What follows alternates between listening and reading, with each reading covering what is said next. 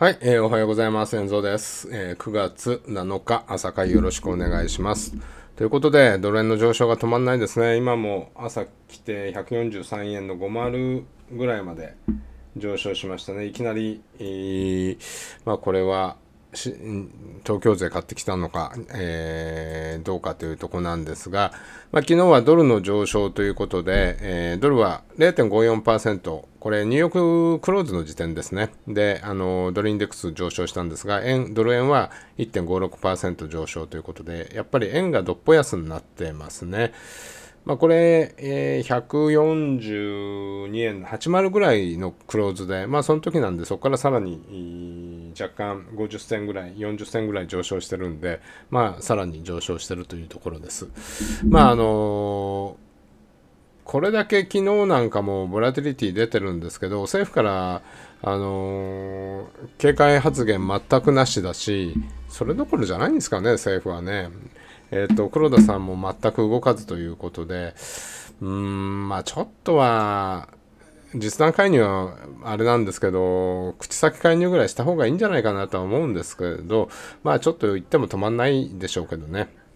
で、まず RBA は昨日予想通り0.5%利上げ、さらなる利上げもということで予想するも決まった経路はなしという発言でしたね。まあ、これ予想通りだったんですけど、そうですね、え、と、こんな感じになってまして、5ドル自体は下落しちゃいましたね。ドル高だったんで、えー、と、1時半の時点で、えー、若干上昇したんですけど、その後だだ下がりという感じで、まあだからあんまり利上げの効果はないんですけど、まあ一説によると、この、えっ、と、オーストラリアの利上げもドル、えっ、と、円安の原因だったんじゃないかっていうんで、本当ですかっていう感じでなんですけど、まあ確かに、あの、5ドル円は一瞬下がった後上がってますんで、もう90、その時点で95円の半ばだったんですが、今96円の半ばまで1円近く上がってますので、まあ、おっしゃる通り、あの円だけが全く金利をいじってないということで、主要国で、えー、確かに円売り、確かあのドル高であるんですけど、円売りでもあるということで、黒線が上昇、やっぱり今週、黒線が上がって、ドル円はまあ上がるけど、それほど上がらないんじゃないかなっていう、まあ、地利高なのかなと思ってたんですけど、まあ、黒線もドル円も上がる感じになってきちゃいましたね。えっ、と、ECB、小幅な利上げ報道も、ドイツ国債1.56から1.619%に上昇ということで、あのーまあ、0.6%の利上げをするんじゃないかみたいな報道もあったみたいなんですけど、まあ、これ0.5か0.75かって今言われてるところなんで、えー、まあ、0.6っていうのはあんのかなっていう感じなんですけど、まあ、ユーロに関しては昨日ちょっと反発する局面もありましたよね。まあ、ここら辺なんか黒線が上昇を誘った可能性っていうのもあるかなと思うんですけど、あのロンドン時間の序盤まではあのかなり堅調な動きだったんですが、やっぱりその後、えー、下落したドル高ということで、昨日はちょっと0.99、あの安値を更新して、98の80を一瞬抜けて、まあ、今も99割れのとこにいますよね。デイリーポート9920なんで、ここ戻り高値のとこも20、30ぐらいなんで、今日はここがポイントになりそうですね。で、9850から9920のレンジ、上は9970、昨日の高値ぐらいなんで、明日の ECB ありますんで、そこに向けて、あのー、ちょっと0.5か0.75かということでも、えー、ユーロ安は止まらない感じですよね。で、ユーロ円の方も、ドンということで、こんな感じで、えー、140円付近で、えー、昨日は、えっ、ー、と、小動きだったんですが、まあそこを抜けてきて、えーぶち抜けてしまったということで、あの昨日もツイッターでも、あの指摘があったんですけど、デイリーピポットが抜けちゃってる、まあ、やっぱり前日がレンジ狭かったんで、こういう時ってピポットやっぱり狭くなりがちなんですよね。そうするとやっぱりちょっと、えー、レジスタンスの3なんかを抜けてしまうと、ちょっとあまりデイリーピポット、やあの効率良くないというか、機能が少し、あのー、ダメなんで、まあそういう場合は、こういう感じで、週間ピポットを見るっていうのがありかなという感じがします。週間ピポットを見ると、今週の、えー、ユーロ円なんかは9円の10がピポット、レジスタンスが、えー、1円のまあ、2530なんで一瞬一あの一発目は止まりましたよね。ただ、ここ抜けてきちゃったんで、次は142円の87が、えー、週間ピポットになります。まあ、今日のデイリーを見ると、えっ、ー、と、ユーロ円、えー、ピポットが140円の90、レジスタンスが142円の30というところでもうちょっとそこら辺まで引っ掛けてきちゃしちゃってますよね。えー、ユーロもつ、えー、強いとあの、ユーロ円も強いということで、まあ、トラス首相が、えーと、就任というとことで、減税とインフレ、えー、エネルギー対策ということで、え、これやると、インフレが加速して、利上げがさらに加速するんじゃないかっていう説もあります。まあ、ここら辺難しいところですね。で、えっ、ー、と、トラスノミックスということで、えー、大幅減税とインフレ対策、投資促進というこの3つの柱だそうです。で、えー、まあ、ここら辺で、えー、エネルギー対策なんかもしていかなきゃいけない。そうすると、赤字が増えるというので、国債の増発が必要なんで、まあ、そこら辺が、えっ、ー、と、さらにインフレを悪化させるんじゃないかということで、利上げが止まらなくなるんじゃないかという説もありますね。ポンドの方を見ていきましょう。ポンドも一瞬、その、あの、新首相を祝って、えー、上昇する局面ってあったんですけど、1.16台引っ掛けたんですけど、まあちょっとそこが高値になって、えー、下落ということで、昨日はデイリーピポットの1.15あたりがサポートされたんですけど、今日はちょっとそこを今狙う雰囲気になってきてますよね。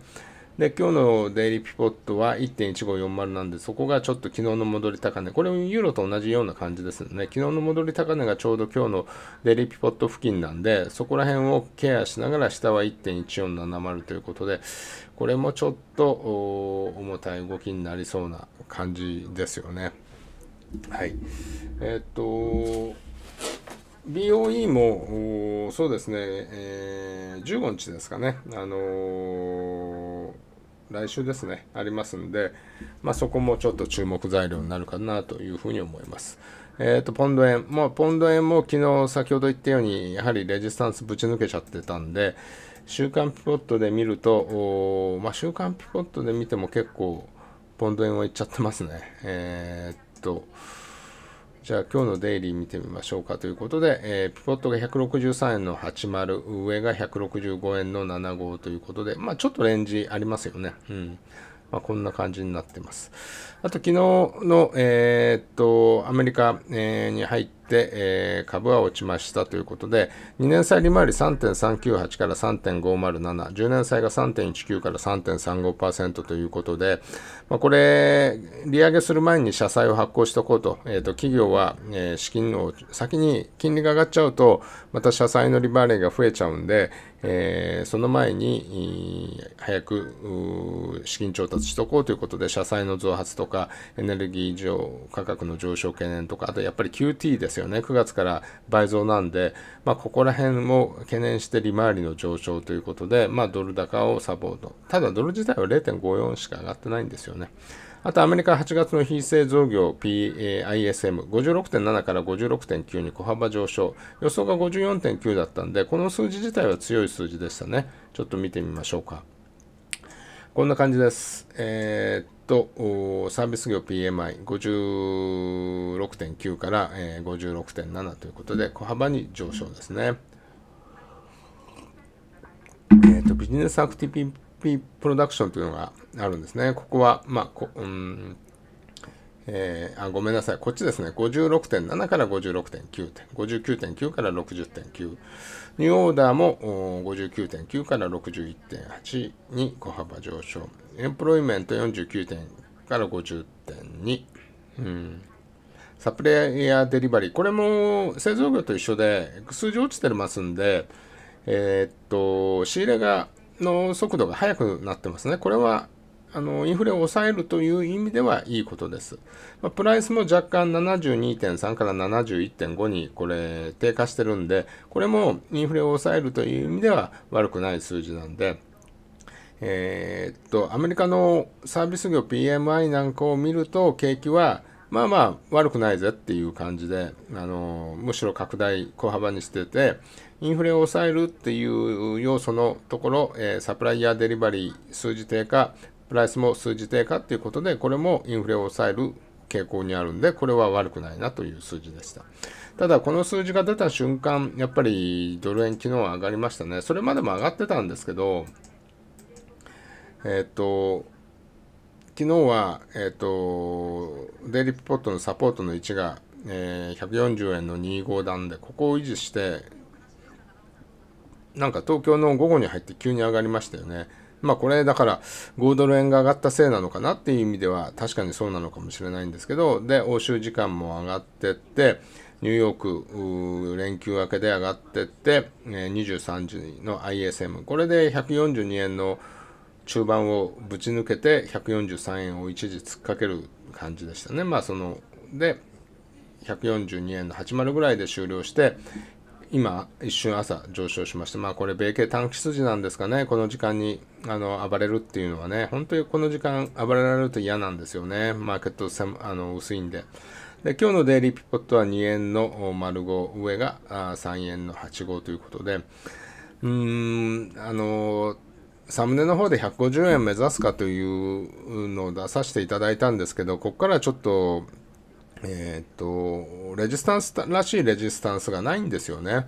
まあ、そういう意味では、あの、100、うん、1998年の高値147円とか、節目の145円とか、やっぱり150円とか、そのそういう感じの大雑把な数字しか出てこれないんで、